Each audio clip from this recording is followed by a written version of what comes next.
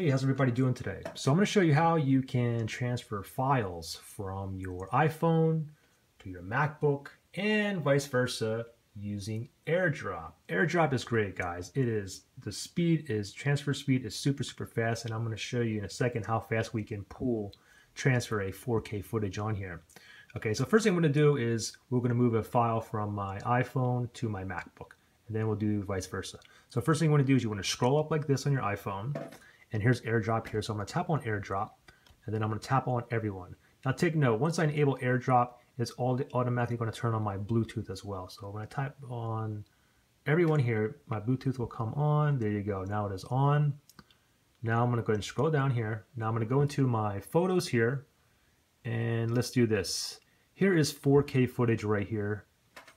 This is two, two minutes and 23 seconds. This is like 900 megabytes. It's actually almost one gig of data because it's recorded in 4K. So I'm going to go ahead and tap on this. I'm going to transfer this. And then once, once I do from here is the bottom left-hand corner, you see this uh, share icon. Go ahead and tap on that. And then, I mean, from here, you can tap on additional um, files and whatnot. I'll go ahead and put a picture on there as well. And you can see that it says tap to share with AirDrop. My MacBook already popped up.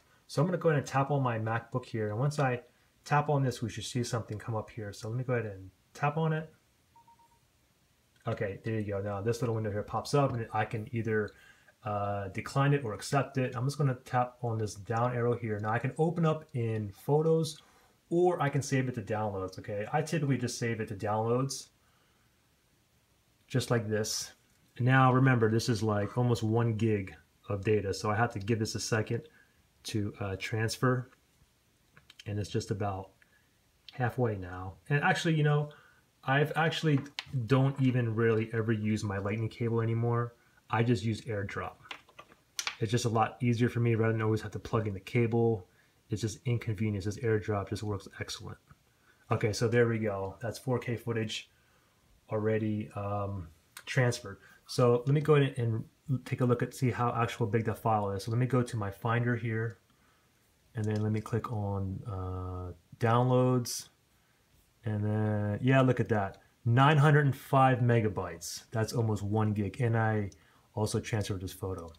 Okay, so let's do this now. Let's go ahead and move um, a file from my Mac to my to my iPhone. So let's just go ahead and just let me just I'm gonna I'm gonna go ahead and transfer this this photo here. So I'm just gonna go ahead and highlight this right here, and then I have that share icon right here. Let me tap on that, and then I'm gonna tap on AirDrop. Okay. And now it says to share with user iOS, ask them to open the con okay control center. Okay, I have to actually go back in here. I oh I already have um, I already have my AirDrop on. Okay, sometimes it takes a second. Okay, so there's my iPhone. The name of this phone is iPhone. So let me go ahead and tap on that. And then there you go. That's the photo. And then I simply go ahead and just accept it. And there you go. And then if I go back, it should be on the last one down here.